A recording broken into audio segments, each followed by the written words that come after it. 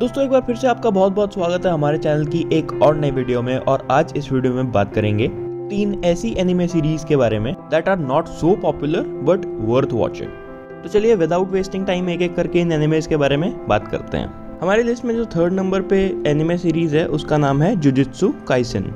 ये anime series release हुई थी ईयर 2020 में और इसे आई रेटिंग मिली है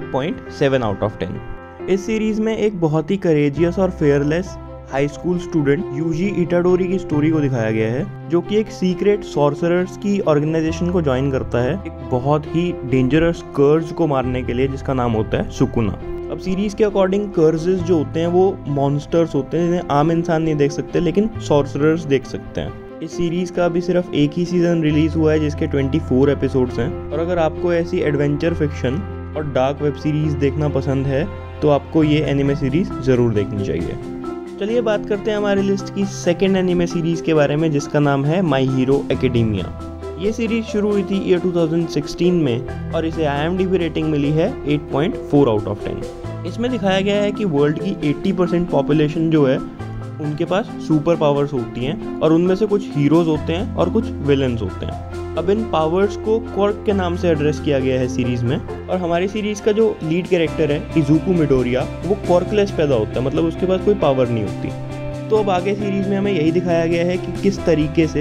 इजुकू को कॉर्क मिलता है और वो कैसे वर्ल्ड का सबसे ग्रेटेस्ट और पावरफुल हीरो बनता है। इस एनिमे सीरीज़ में आपको टोटल फाइव सीजन्स और दो मूवीज़ देखने को मिलेंगी, जिनको देखने का एक स्पेसिफिक ऑर्डर है, जो कि मैं नीचे डिस्क्रिप्शन बॉक्स में दे दूँगा so do check it out और भाई कमेंट करके ज़रूर बताना कि सीरीज़ कैसी लगी। तो चलिए फाइनली बात करते हैं हमारी लिस्ट की फ़र्स्ट एनिमे सीरीज़ के बारे में, जिसका नाम है वन पंच मैन ये सीरीज़ शुरू हुई थी ये 2015 में और इसे आई रेटिंग मिली है 8.8 आउट ऑफ़ 10 इस सीरीज़ में भी आपको हीरोज और मॉन्स्टर्स देखने को मिलेंगे, जिनके अलग अलग एजेंडाज होते हैं, लेकिन वो सब इम्पोर्टेंट नहीं है। इंपॉर्टेंट है इस एनिमे सीरीज़ का लीड कैरेक्टर जिसका नाम है Saitama he is one of my favourite character of all time अब साइतामा जो है, वो एक इमोशनलेस इंसान है सीरीज़ के अकॉर्डिंग क्योंकि उसने तीन साल इतनी ज़्यादा ट्रेनिंग की है, कि उसके सारे बाल झड़ चुके हैं और उसको